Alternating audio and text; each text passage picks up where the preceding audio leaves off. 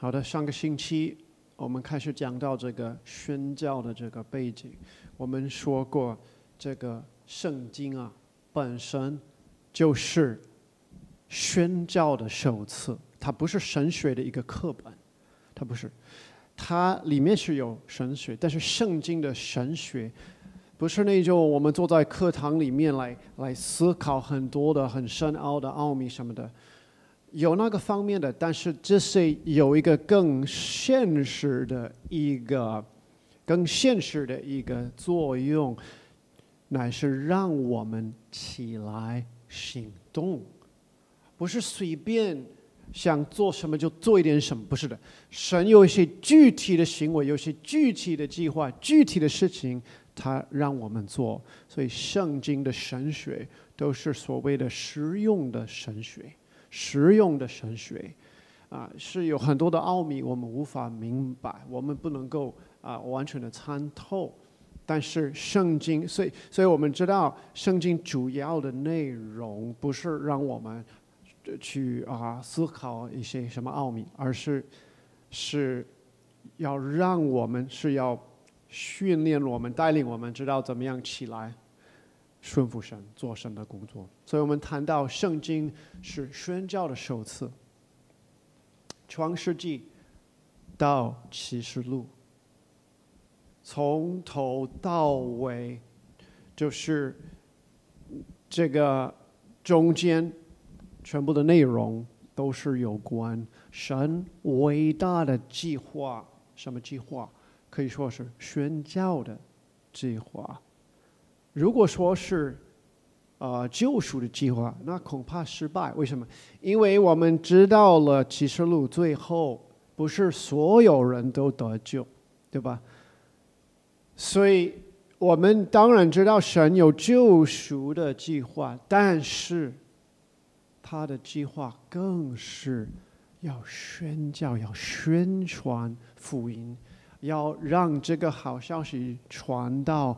每一个人的耳朵里面，这个是最主要的。OK，所以我们也看到了这个问题就在伊甸园了，哎，伊甸园里面开始的吧。然后呢，啊，神就由亚伯拉罕开始以他的这个计划。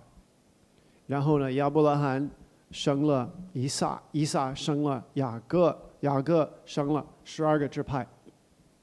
就成为成为以色列，然后呢，我们知道神在以色列当中，他兴起了一个王，就是大卫王。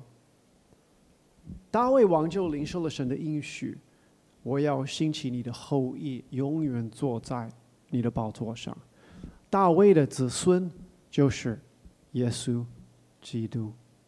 所以我们可以看到这个使命从一代传到下一代，到一下一代，一直传到耶稣，然后耶稣就是继承人，耶稣就是所有那些人啊的那个呃是这个啊就是来来了来比耶呃比耶稣来的早的那些人，他们的生活的意义都是在于耶稣基督，他们他们所做的所有的事情。都是有关耶稣基督，所以耶稣基督就是那个啊，应验了神的应许，他成就了救赎，他建立了神的国在地上，他也建立了他的教会。那么耶稣升天了，那么接下来呢是什么呢？现在我们要出去完成他的大使命。所以我们看到这个旧约那些都是都是这个铺路，对吧？耶稣来了，成就了救恩，成就了救赎，那救赎。然后呢，接下来什么呢？那我们现在把这个救赎的计划、救赎的啊救救恩的这个消息、天国的消息传到万邦。这就是圣经里面的这个啊内容的一个。啊，总结。所以我们也看到这个《使徒行传》，对吧？《使徒行传》它的内容是有关什么呢？福音怎样从耶路撒冷传到哪里，一直到地极，就是罗马。因为一开始他们是在哪里聚集呢？是在耶路撒冷，对吧？然后呢，传到撒玛利亚，传到犹大地，然后呢，传到了就是外邦，然后到最遥远的地方就是罗马。所以我们看到使徒行传呢，它整个的主题就是宣教，就是以这个为核心。就是福音的扩展，对吧？所以我们说，圣经是一本一卷呃那个宣教手册，一点没有错，一点没有错。嗯，好，这个是我们上个星期呃稍微开始谈的一些内容。我现在来读两段经文，一个是马太福音二十八章十八节，就是大使命。耶稣进前来对他们说：“天上地下所有的权柄都赐给我了，所以你们要去，使万民做我的门徒，奉父子圣灵的名给他们施洗。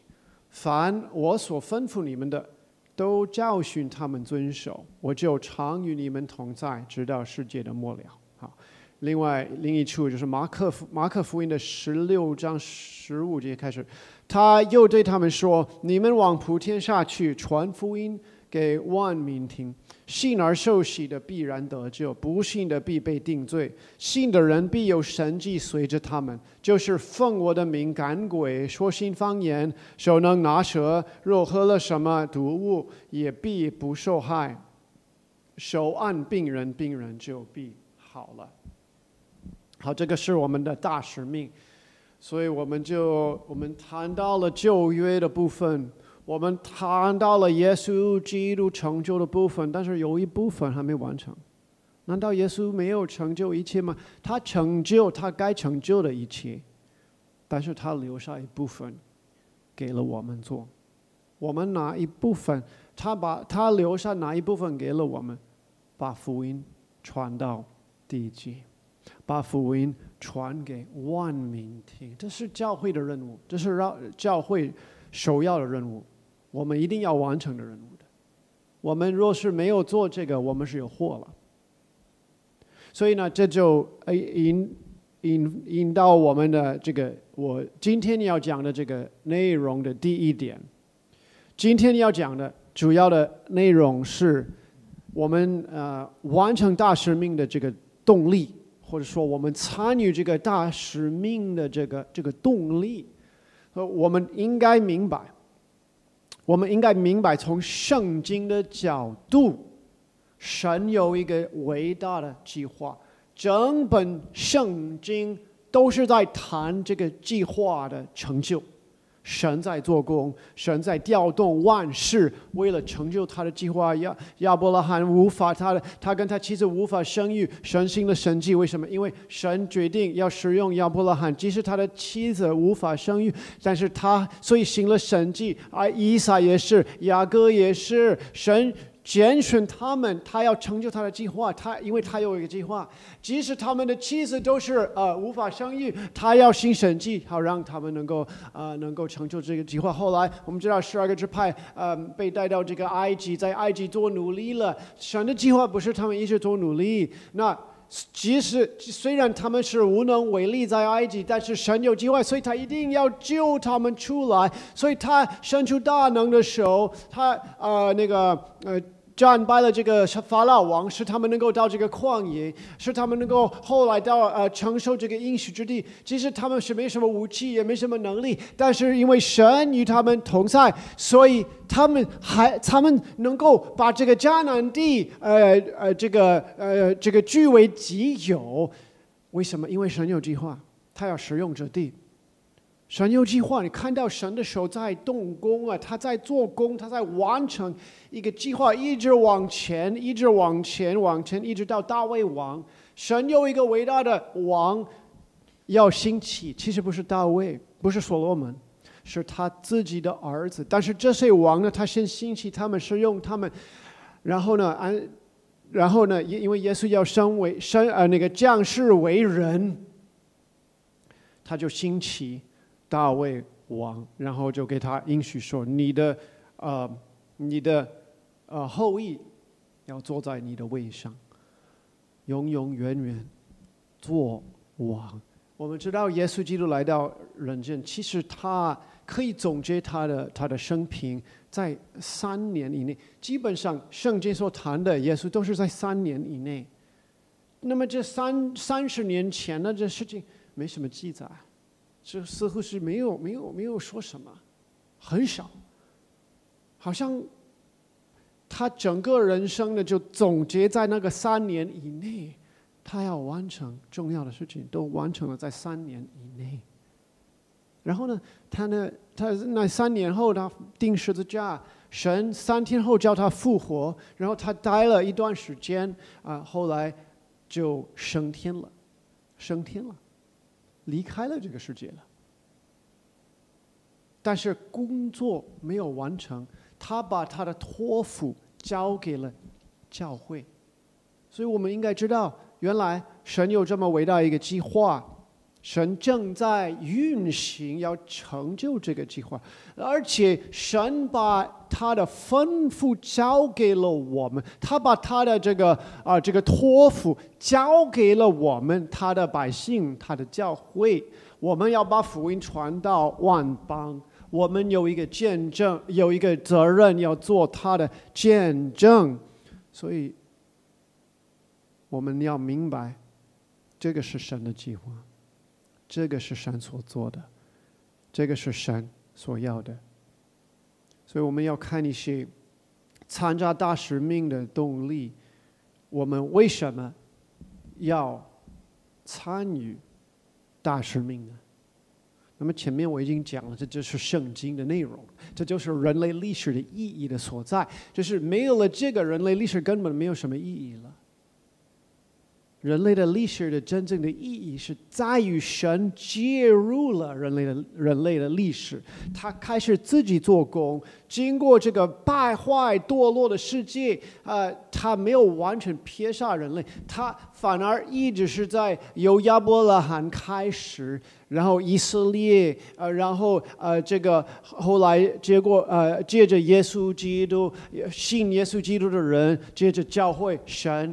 一直在挽回，在怜悯，在实行救恩，所以这个就是神在做的事情，这这就是神的神的心意啊。那么我们为什么要做呢？因为首先因有这个托付，有这个吩咐，所以圣经告诉我们在箴言第九章十节，敬畏耶和华。是智慧的开端，所以第一点我要谈到的，我们为什么要参与大使命？第一个原因是出于敬畏神，敬畏耶和华是智慧的开端。既然神这么的在乎这件事情，甚至到一个地步，他直接的吩咐他的教会：你们要去，你们要做。那即使我们不想做，我们也得做。保罗说，在哥林多前书第九章十六节，他说：“我传福音原没有可夸的，因为我是不得已的。若不传福音，我便有祸了。”我若甘心做这事，就有赏赐；若不甘心，责任却已经托付了我。保罗说：“我已经蒙召啊，我已经被差遣了，我已经领受了这个，是主已经托付了我。我传福音的话，没有什么可夸的，这本来是我该做的事情，甚至。”相反的，我若不传福音，我便有祸了。我若甘心做这事，就有赏赐，那很好啊，这是最理想的。但就算我不甘心，这个责任已经托付了我，所以我必须要做。弟兄姐妹们，我们也要明白，主有一个计划，有一个宣教的一个计划，有一个传福音的一个计划。我们也要参与这个计划，这不是可有可无的，这不是只有交给了一些人，这个是交给了整个教会，我们都要参与这个运动。如果我们回到前面我们读的那个大使命两处，就是一个是马太福音二十八章，一个是马可福音十六章，我们想。马可马马太，你记得他后来说，嗯，就是他吩咐他们之后，我就重新的读吧。天上地下所有权柄都赐给我了，所以你们要去。这个是吩咐他们，你们要去使万民做我的门徒。父呃奉父子圣灵的名给他们实习，凡我所吩咐你们的。都教训他们遵守，然后你注意最后的那个部分，他说：“我就常与你们同在，直到世界的末了。”耶稣给他宝贵的应许：“我常与你们同在。”所以很多人是断章取义、滥用这个应许，就觉得呢，无论如何，神就不会撇下我，神永远与我同在。这可是大错特错。为什么？因为你看见这个经文是有一个向下文，是有一个环境，他给这个应许是在一个什么情况下呢？是在他差遣，是在他吩咐他的门徒、他的教会去传福音、做门徒。换言之，如果他们说，哇，这是一个美好的应许。神说：“啊，吩咐，首先神吩咐我去要做，要叫万万人做他的门徒，那这是很好的。呃，然后他给我这个宝贵的应许，呃，要永远与我同在。但是我不想做前面的吧？啊，这个吩咐了这个部分我就不做，但是应许这个部分我就要。对不起，不是这样子的。”你不可以没有，你不可以好像啊选择性的就说这个部分我要，这个应许的部分我要，但是这个吩咐的部分我不要，我做不到。你做不到的话，你也你也拿你也得不到这个应许，明白吗？我我有时候我就想到那个约书亚，对吧？在那个约书亚记里面，他一开始啊蒙神的呼召。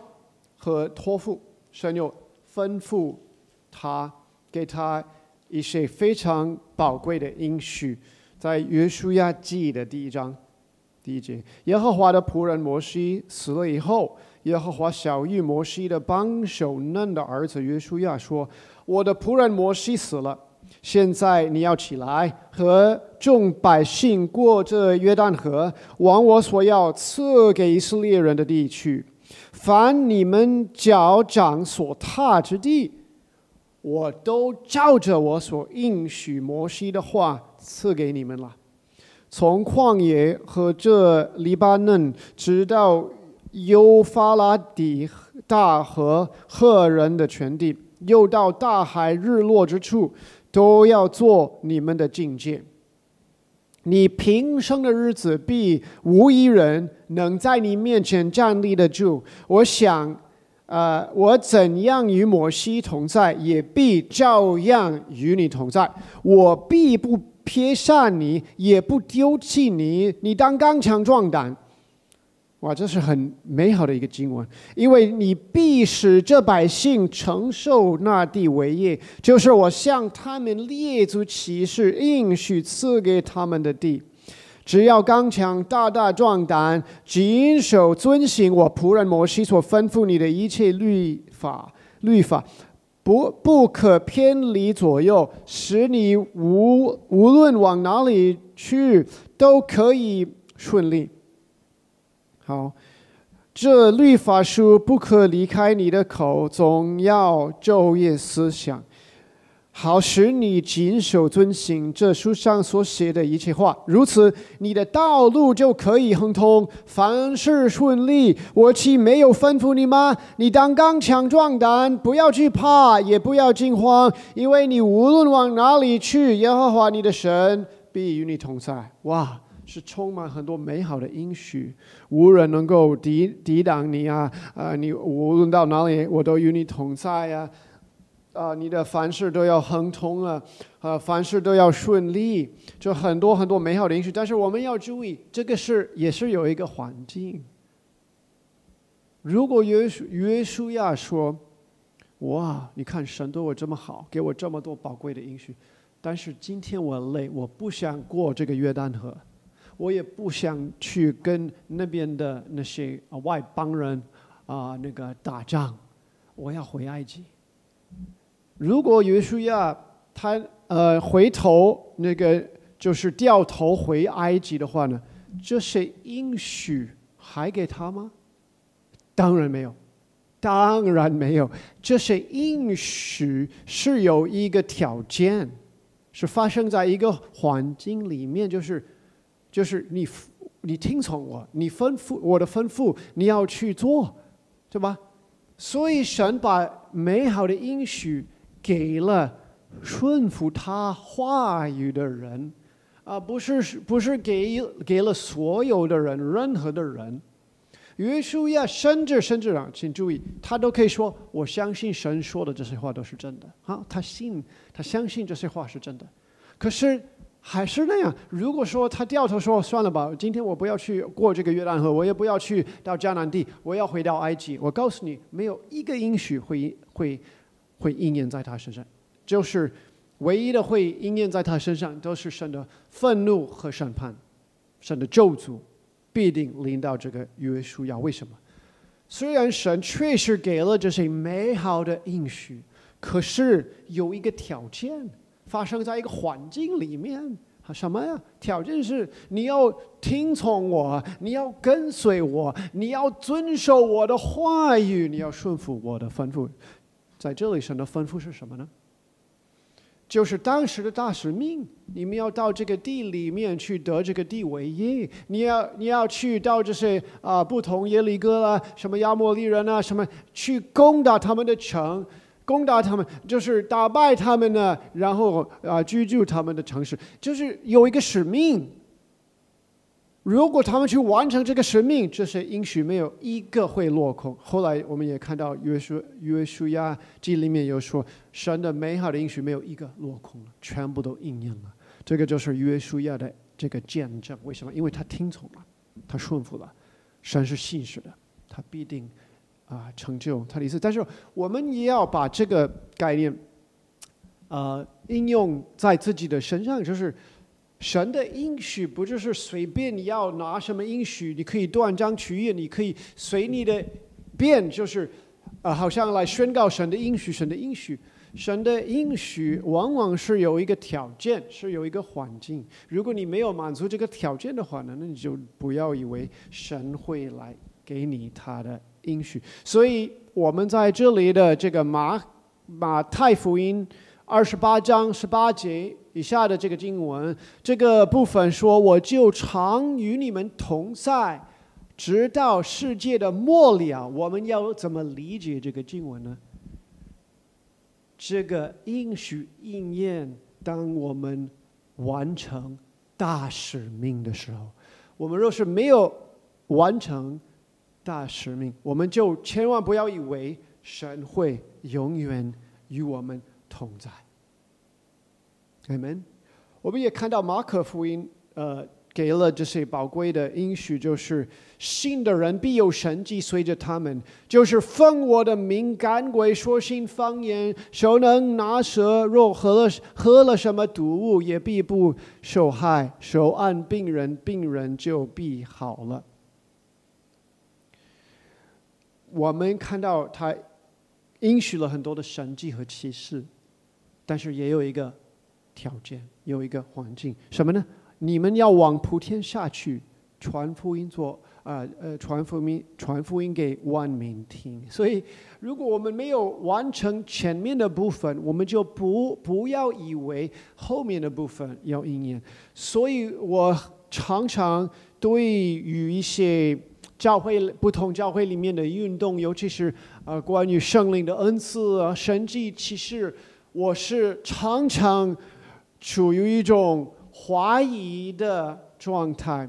不是说我怀疑神迹启示，不是说我怀疑神的能力，绝对不是相相反的。我非常相信，而且我非常渴慕这些，我非常渴慕神在我们当中行神迹，啊啊，成就奇妙的事情。我非常的渴慕神的灵赐下各种各样的恩赐。但是为什么我那么的对于这些很多的运动，就是？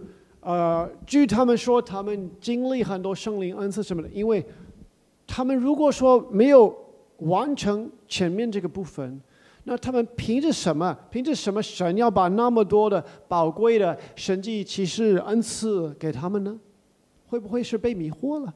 会不会是假的？一假的这个神迹其实？因为圣经也谈到有假的，有真的，有假的。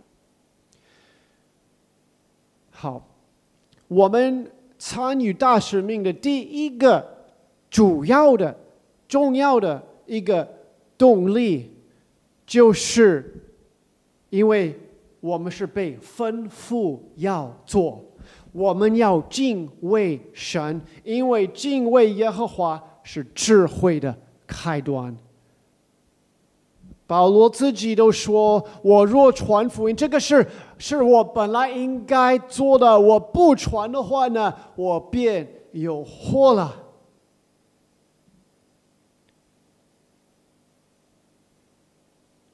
在一西结书一西结书的第三章十八节，我们也看到了一段非常杀人的。经文，神对以西结是这么说的：“我何时指着恶人说他们必要死？你若不警戒他，也不劝诫他，使他离开恶行，拯救他的性命，这恶人必死在罪孽之中。我却要向你讨他丧命的罪。”倘若你警戒恶人，他仍不转离罪恶，也不离开恶行，他必死在罪孽之中。你却救自己脱离了罪。你看见了吗？神告诉以西结，你必须要告诉他们，这些恶人叫他们悔改，要不然我要毁灭他们。你若去告诉他们。而且，他们那个，如果你不去告诉他们，我我先说，如果你不去告诉他们，他们要死在罪罪犯在在他们的罪孽当中，可是我来跟你讨他们丧命的罪，这是非常可怕的。我不是我的罪，是他们的罪，是的，但是我把一个责任交给了你，你要去警告他。你要去告诉他，你要去给他传这个道。如果你去跟他传这个道，然后他回转，那感谢主，他得救，你也得救。如果你去传，然后他不悔改，他会灭亡，但是你必得救。但是如果我告诉你要去告诉他，可是你也你也不做，他灭亡将来。你也必灭亡，这是非常可怕的。但是这个就就就说明，我们没有什么借口，没有什么理由啊，说他他们不要听。神没有问他们要不要听，神说你要去告诉他们，对不对？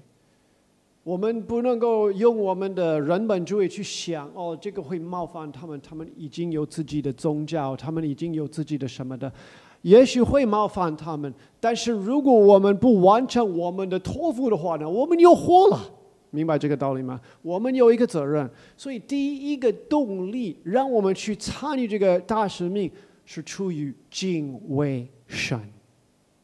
敬畏神。还有一点，在哥林多后书第五章，哥林多后书第五章第九节，保罗这样说：所以无论是住在山内，离开山外，我们立了志向。要得主的喜悦，因为我们众人必要在基督台前显露出来，叫个人按着本身所行的，或善或恶受报。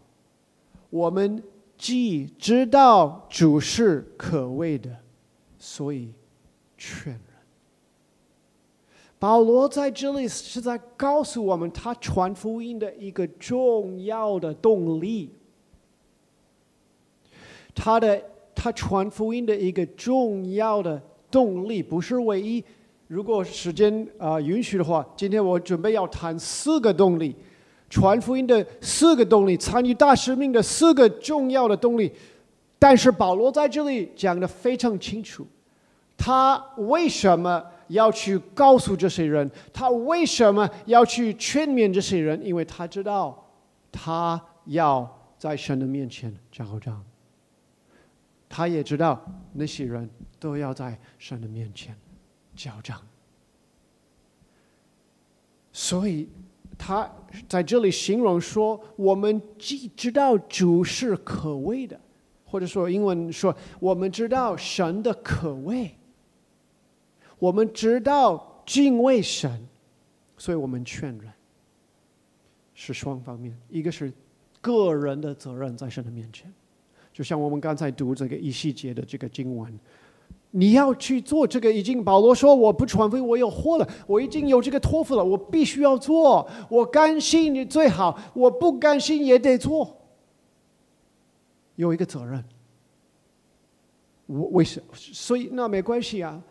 反正神是怜悯慈爱哦，你不能够滥用神的呃恩典慈爱。圣经也同样告诉我们说，有末日审判，我们都要站在主的面前。我们众人必要在基督台前显露出来，显露出来，叫个人按着本身所行的。他说，我们众人包括他自己。作为使徒，身为使徒，还有其他的信徒，还有那些世上的人，还没有信主的人，全部都要，呃，都要站在基督的台前，叫个人，个人按着本身所行的，或善或恶受报。我们既知道主是可畏的，所以我们劝人。请问你？是否知道神的可畏？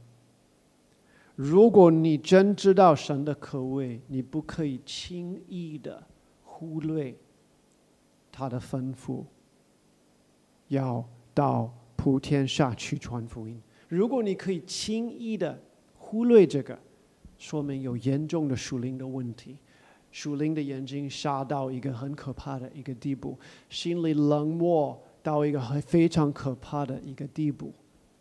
是有问题的，因为失去了对神的敬畏，说明失去了对神的真认识、正确的认识，说明有黑暗开始弄杀人的眼睛。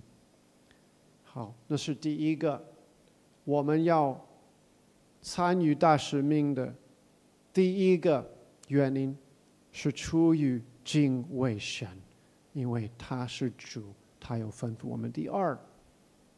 马太福音第四章十八节，耶稣在加利利海边行走，看见弟兄二人，就是那称呼彼得的西门和他兄弟安德烈，在海里撒网。他们本是打鱼的。耶稣对他们说：“来跟从我，我要叫你们得人如得鱼一样。”第二个，我们参与。大使命的动力，是因为神的大使命给了我们的生命真正的目的，永恒的目的，真正的意义。实际上，人人都在寻找意义，都在寻求意义，都希望过一个有意义的人生。可是，都是得不到，得不到真正的、真正的满足。耶稣曾经说：“嗯。”你们嗯，喝这个水以后还要继续来喝，就是你还会渴的。你他对那个撒玛利亚的妇人说：“你你你你打这个水，你喝这个水，你以后还会渴的。”然后他说：“哦，耶稣说我有活水，你喝了就永远不渴了。”他说：“你呀，你马上给我，以后我就不用来这里打水，对吧？”耶稣所说的不是这个自来水，不是这个井里的水，他所谈到的是圣灵所赐的这个活水，是让我们的生命接上神伟大的计划，而让我们的生命里面开始有真正的意义、真正的目标。所以，我认为神也常常使用。传福音的这个呼召，来激励人，来来吸引人，来大发热心，装备自己，啊，放放下一切，为了主的缘故。因为你看那天耶稣呼召他们说：“你们你们是打鱼的，但是来跟从我，我要叫你们得人如得鱼一样。”他跟他们讲：“你不要得鱼，不要得鱼了，要得人。我有一个更伟大、更更更奇妙的，你得鱼啊！这个鱼是有什么呢？它不是说鱼没有任何的价值，但是人的灵魂，它的价值是比这个宝贵一万倍、一千万倍。所以他一瞬间就哇，就提升了。”他们的人生有意义啊，有他们可能不是很明白，但是说哇，这个人是叫我们跟随他，这个人物啊，他们知道耶稣是是一个人物了，他要跟随他，我们的生命不是有好像也有意义吗？我不是说这个是主要的，如果是主要的，是有问题的，但是我们无可否认，这个确实存在。我们跟随耶稣确实是非常的精彩，非常的。会带给我们满足感。你看，耶稣都说，就是他服侍那个撒玛利亚的妇人的时候，他的门徒不是到那个撒玛利亚里面去找吃的，然后他在那里一个人跟那个撒玛利亚的妇人啊传福音。他们后来拿着这个饼回来，要让耶稣吃。然后耶稣在约翰四章四章三十一节，这期间门徒对耶稣说：“拉比，请吃。”耶稣说：“我有食物吃，是你们不知道的。”他不是很饿吗？他不是等了半天吗？的，赶快吃！他他说：“我有食物吃，是你们不知道的。”门徒就鼻子对问说：“莫非有人拿什么给他吃吗？”耶稣说：“他们无法理解，有比 填饱 这个肚子更 更奇妙的。”更有意义的事情，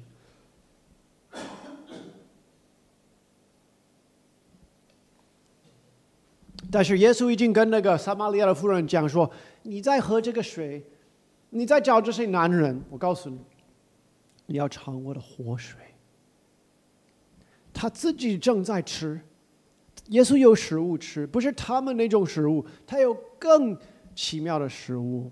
我食物，他说。我的食物就是遵行差我来者的旨意，做成他的功。你们岂不说到收割的时候还有四个月吗？我告诉你们，举目向田观看，庄稼已经熟了，可以收割了。耶稣，他的食物。就是遵行差他来者的旨意，就是服侍这个撒玛利亚的妇人，带给他如此大的一个喜乐和一个满足感。他甚至说：“可以不用吃了，可以不用吃了。”我们，当我们接受大使命为我们的人生的这个托付，为我们的使命。神的丰富。当我们追求，当我们开始因着这个开始约束自己，开始装备自己，开始纪律自己，开始，嗯，开始找机会，开始多多祷告，因为我们有一个意向，我们有一个一个目标，我们有一个计划，神的计划。哇，原来神要使用我们，对。然后，当我们能够真正的服侍人，真正的看见神的手在我们的身上，神在使用我们。这个比什么都更，这个比什么都宝贵。没有什么可以跟这个相提并论，没有。你经历过，你心里都知道。你给一个人传福音呢，你服侍了一个人的，神使用你服侍一个人，圣灵在你身上，神给你一个话跟那个人讲，或者说，呃，你在飞机上，你在什么地方上，你你给一个人传福音，神给你那个机会。你你自己的心里会充满喜乐，所以耶稣门徒还没有明白这个，所以耶稣还教他们说：“啊，我的食物就是遵行差我来者的旨意，做成他的功。”然后呢，他就呼唤他们说：“你们要加入啊！你们加入，到收割的时候还有四个月吗？你们不是这么说的吗？我告诉你们，举目。”向田观看，庄稼已经熟了，可以收割了。意思是，服侍的机会实在是太多了，现在就是收割的季节了。还有一处在那个路加福音十章十八节，